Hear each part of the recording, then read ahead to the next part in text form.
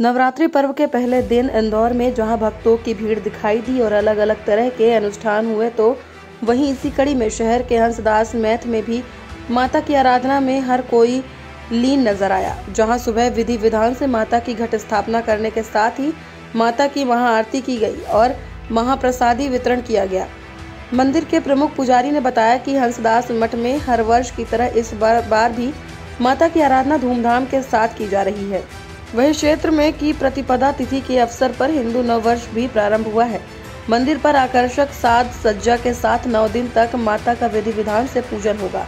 वहीं अंतिम दिन श्री राम नवमी पर भव्य अनुष्ठान किए जाएँगे। क्षेत्र नवरात्रि और गुड़ी पड़वा के दिन से माँ की आराधना प्रारंभ होती है और सनातन परंपरा के अनुसार नव वर्ष हिंदू का नव वर्ष आज से प्रारंभ होता है।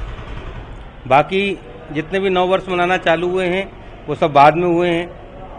जब से सृष्टि की रचना हुई, आज के दिन सृष्टि की रचना भी मानी जाती है, तब से गुड़ी पड़वा के दिन से नव वर्ष माना जाता है। माता प्रथम पूजनीय होती हैं।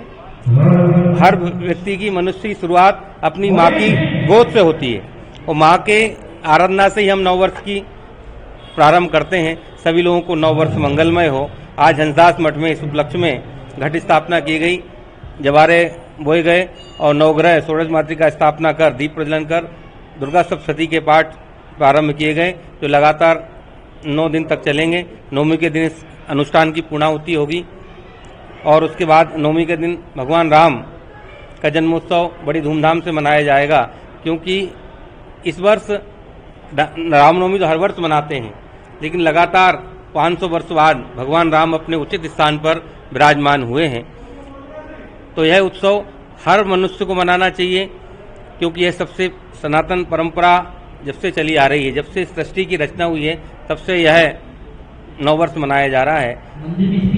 और रामनवमी के दिन तो विशेष उत्साह रहेगा ही तो लगातार नौ दिन तक हंसदास मठ में हंस पीठाधीश्वर श्री महेंद्र रामचंद्र दास जी महाराज के पावन सानिध्य में यह उत्सव मनाया जाएगा और सभी लोगों को बहुत बहुत हार्दिक शुभकामनाएँ मंगल कामनाएँ इस नौ वर्ष की दो हज़ार इक्यासी की। ये सबको मंगलमय हो और इस वर्ष सब लगातार सब पर माता रानी की कृपा बनी रहे। जय श्री राम।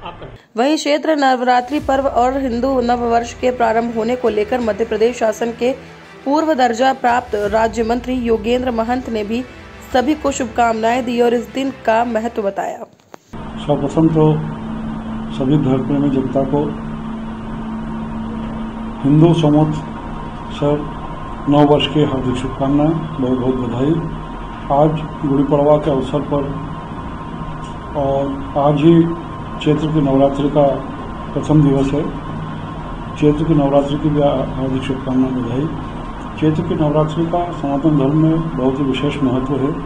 यह पूजा, आराधना और तप तपस्या के लिए इस नवरात्रि में संत हो, ऋषि हो, महात्मा हो या अन्य धर्म प्रेमी जनता हो, सब विशेष रूप से पूजा कर दुर्गा माता का आशीर्वाद प्राप्त करने का प्रयास करते हैं, प्रार्थना करने के निश्चित रूप से ऐसा माना जाता है कि आज के दिन ही विक्रमादित्य जो थे उन्होंने पूरे अफ़गानिस्तान तक की विजय प्राप्त की थी और उनके द्वारा जो विक्रम संवत सन जो हमारा है, उसके आज से शुरुआत हुई थी।